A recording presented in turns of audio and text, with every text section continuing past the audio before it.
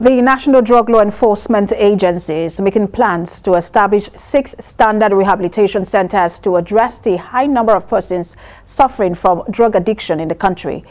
The chief executive of NDLEA, Buba Marwa, explained that three of the centers will start next year, as already proposed in a 2022 budget. Mr. Marwa also stated that the centers, which will be located at the six geopolitical zones, will help curb substance abuse. According to him, evidence has shown that COVID-19 infections are higher or more common with people diagnosed with substance use disorders. Hence, addiction, addiction, addiction care must be reinforced to avoid complications of SUD and COVID-19.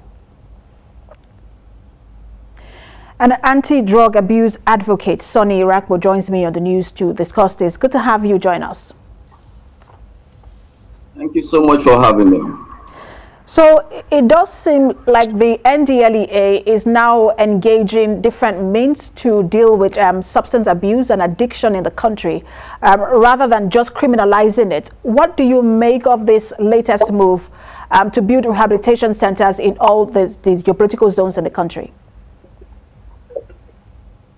Uh, thank you so much for that uh, valid question. Uh, it's a very commendable move because if we must tackle the issue of drug abuse, we must not just focus on uh, pursuing the drug barons, the need for we to take a drastic step in taking the drug demand reduction strategy into cognizance is very, very key. And that is the dimension the present uh, leadership under the performing uh, administration of uh, Buba Marwa is, is, is, is pursuing.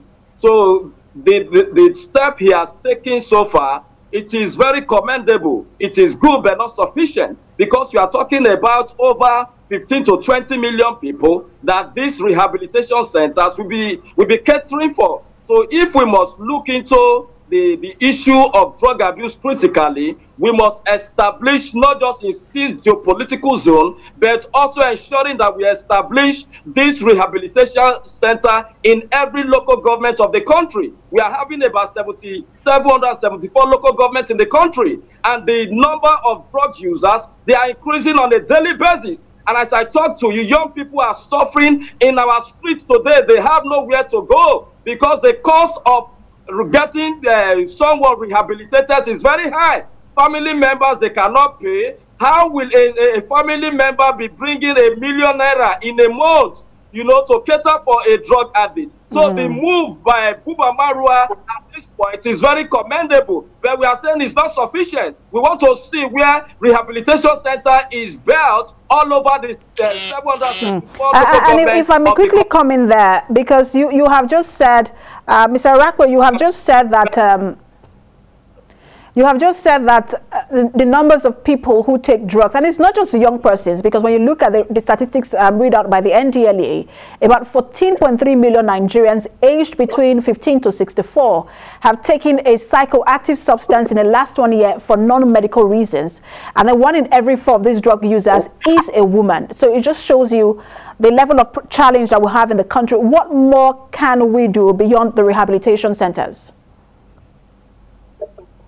I have said it time and time and time over and over again that if we must tackle the issue of drug abuse, we must also look at sensitization campaigns because it is very cost effective. For every one dollar spent in sensitization, is going to save the government ten dollars. In other words, information is very critical people are not informed. That is why a lot of young people they are venturing into drug abuse because most of them they don't know the implications, they don't know the effects of this thing. When you begin to clock 38 to 40 years, you begin to get the effect, the negative effect of this drug abuse in your head, it is very consequential to their head. So what we are saying is this, we must intensify effort in sensitization. Look at the way we talked about COVID-19. Even my little baby, my little child of three-year-old who knows what is COVID-19 and how he, he can take a preventive measure. The same thing we are saying that government should be concerned about these young people. It is not enough to establish those rehabilitation centers because it is costly. How many people can afford it? It is more better for we to toe the line of education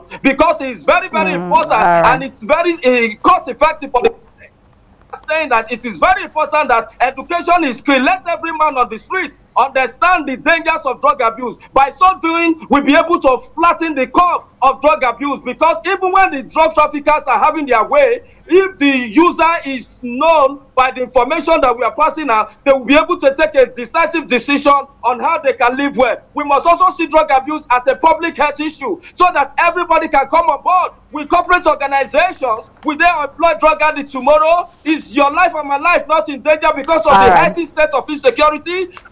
Um, I, am afraid we do ha have to leave it there. You're very, you're very correct in, in, terms of the fact that this has more sensitization has to be done in this regard. Um, thank you so much for talking to us, anti-drug abuse advocate Sunny Irakpo.